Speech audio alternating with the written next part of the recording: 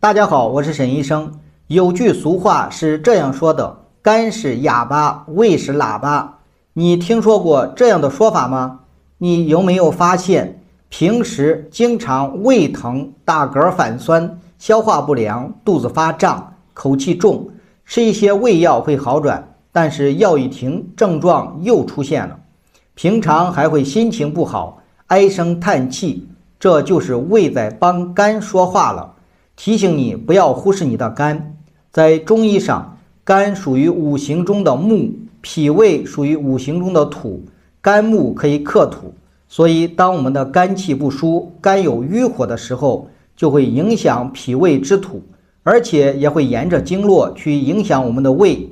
长期下来，我们的肝气长期瘀滞，不仅会影响脾胃的功能，还会影响全身的气血运行不畅。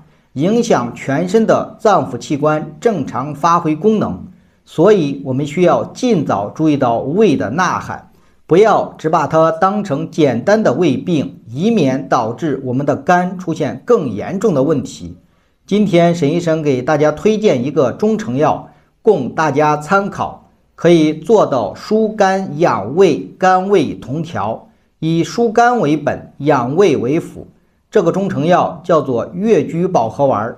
接下来，沈医生来给大家详细的介绍一下越鞠保和丸的用药和功效。越鞠保和丸是由栀子、六神曲、香附、川芎、苍术、木香和槟榔组成的。